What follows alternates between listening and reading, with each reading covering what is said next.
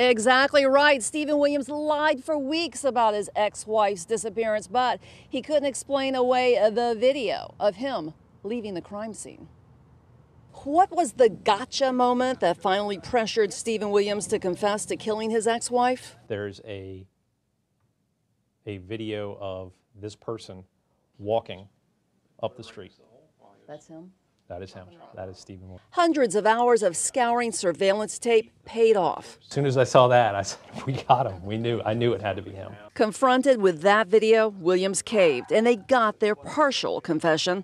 But it's only now that we're hearing exactly how Williams really killed Tricia Todd. As soon as she came to the door, he said he put her in a chokehold and, um, and made her pass out. He used zip ties and he tied her up. Once, um, once he had her secured, uh, she woke up and she started screaming.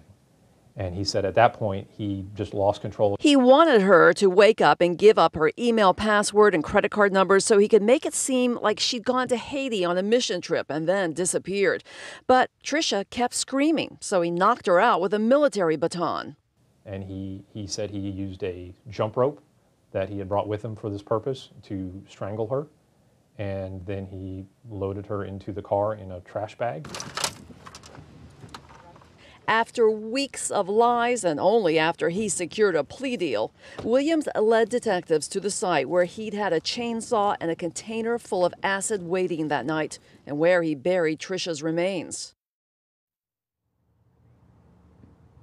And detectives tell me that this wasn't Steven Williams' first plan. His first plan was to cut her up, put her in some coolers, take her out in a boat he was going to rent, and dump her body overboard. But he decided that was too risky.